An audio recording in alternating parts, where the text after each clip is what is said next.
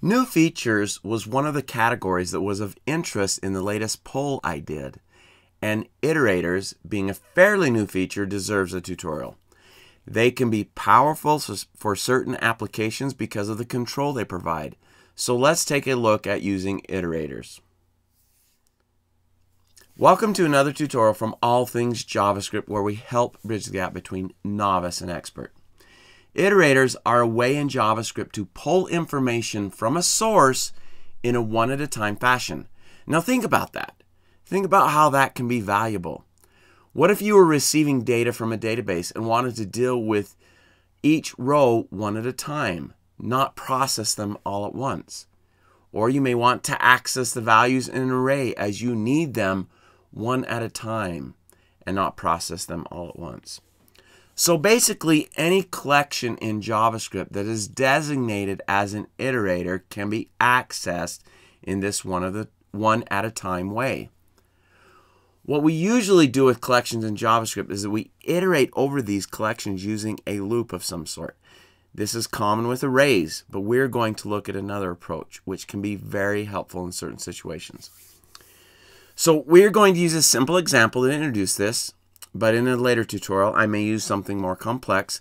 But if you have had a chance to use an iterator in your code, please provide more examples in the description section. It can help others that are learning this structure for the first time. All right, so first thing I want to do is I'm going to set up a simple array because that's what we're going to use to show how an iterator works. So I'm just going to have four numbers in it. That's all. Now we need to set up the iterator. Now the structure may seem strange if you have used JavaScript for a while. But with ES6, a new primitive type was introduced called the symbol.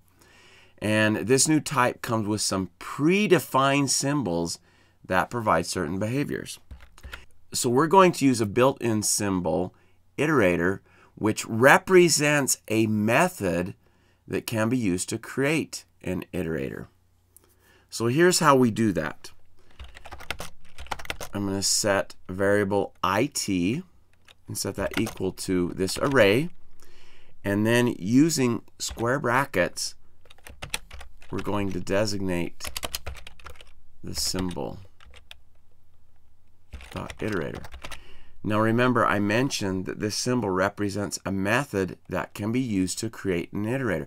So since this represents a method, then we can invoke it with parens like that. So the structure seems a bit strange, but this is how you would do it. Now let's see what the value of this is. So let me save this and I'm going to go to my HTML page and open the console after I refresh it. Make sure that code's active now, so far we're not showing anything, but remember I set the variable it equal to this. So if I now look at it, we see that it is an array iterator. That's what it is. So what can we do with that? How are we able to access the data that is part of this? Well, that is done using the next method. So anytime we want to get a value from this iterator, we do dot next parens, and then look what it returns. It returns an object that has two properties. One property is the value, the other property is done. And done is either true or false, meaning if it has completed going through all the values, then it will be true. Otherwise, it will be false, meaning there is more to retrieve. So the value is 1. That's the very first value in that array was 1. If we wanted to then see the next one, there we go. Second value is 2, and done is still false, so it's not finished. So you can see how you can access these one at a time when you need them. You don't have to process them all at once. We could be doing other things. Or we could be waiting for a user to indicate that the next value should be pulled. Something like that. It's a nice structure for dealing with code. Now, one collection in JavaScript that you may not think is an iterator is a string. Let me just show that really quick before we finish here. So if I set up a string with my name, and then I set up another iterator for that, once again we use square brackets, and then the predefined symbol, which points to a method that creates an iterator. So we invoke it. Now we'll go ahead and save that. I have to spell symbol correct. That is required. Try that again. All right, now I have two. I can do it.next and I can do mm.next. And this one is going to provide the letters. It will go through the letters one at a time that make up that string. So mm.next, the next one will be the T. it.next, really quick. I'm going to do one more it.next so you can see how the final